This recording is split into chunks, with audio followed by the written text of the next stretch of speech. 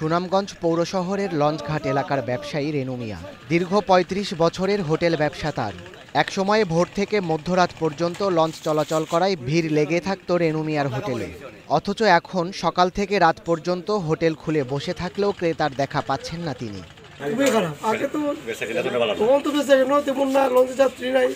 Local মানুষ, আগের পরিচয় আসে।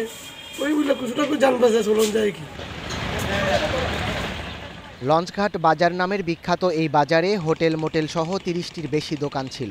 এখানে প্রতি মাসে অন্তত কোটি টাকার পণ্য বেচা কেনা হতো। তবে বর্তমানে ক্রেতা না থাকায় দৈনিক এক হাজার টাকার পণ্যও বিক্রি না হওয়ায় বেকায়দায় পড়েছেন ব্যবসায়ীরা। আর যাত্রী না থাকায় অলস সময় পার করছেন শ্রমিকরাও। বর্তমান যে অবস্থা এই ঘাটে মানে কোনো অবস্থায় নেই দোকানপাট নেই। এখন সবথেকে সুনামগঞ্জ সবচেয়ে অসহায় জায়গা হয়েছে কোনো মানুষ নাই, কোনো কিছু নাই, আমরা যে রিক্সা লইয়া যাই মানে নিজের কাছে খুব খারাপ লাগে। এদিকে বর্তমানে সুনামগঞ্জের যোগাযোগ ব্যবস্থা ভালো হওয়ায় লঞ্চের কদর যেমন কমেছে, তেমনি নদীগুলোও হারিয়েছে তার নাব্যতা। তাই যাত্রীবিহীন লঞ্চগুলো এখন পড়ে আছে টার্মিনালে। যাত্রী সংকটে আগের মতো লঞ্চ না চলায় বেকায়দায় পড়েছেন লঞ্চের চালক ও ব্যবসায়ীরা। অনেকেই বিক্রি করে দিয়েছেন তাদের লঞ্চগুলো। নন চালাইছি আমরা খুব ডাকরে চালাইছি নঞ্চ তারপরে নঞ্চে যাত্রী বেশি হয়েছে নঞ্চে ওখানে সেই ডাকরটা আর ওখানে আমাদের নঞ্চে হয় নাই। কখন লঞ্চের খাম শিখিয়া কি করব? না কিছু করতে পারি না কৃষক কাজও করতে পারি না ওইটা লেগে লঞ্চে আছে। গাড়িগুড়া ছিল না লঞ্চের কদরটা খুব ভালোই ছিল আর এখন লঞ্চ বন্ধ হয় গাড়ি ঘোড়া চলে গেছে রাস্তাঘাট হয় আর এটার কদর নেই।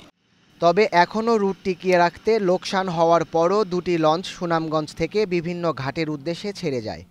লঞ্চের জন্য মানুষ ফিরা যাইব দিকে আমরা একটা লঞ্চ রাখছি। আর আমরা যে স্টাফও লাগছি তারারও আমরা ধরে রাখার চেষ্টা করতে স্টাফও মানে বুংবাং করে টাকার জন্য। যোগাযোগ ব্যবস্থার কারণে আমাদের গাড়ি ঘোড়ার পথ প্রশস্ত হয়ে গেছে প্রসারিত হয়ে গেছে এবং যার জন্য আমরা লঞ্চের দিকে মানুষের যারা ইনভেস্টার ওনারা ইনভেস্ট করেন না কারণটা যে কোনো যাত্রী থাকে না এখানে। হাওরের জেলা সুনামগঞ্জে যোগাযোগ ব্যবস্থা উন্নত হওয়ায় লঞ্চের কদর কমেছে। তবে অর্থনৈতিক দিক বিবেচনায় লাভবান হয়েছে বলে মনে করেন এই অঞ্চলের বাসিন্দারা। এখন সুনামগঞ্জ।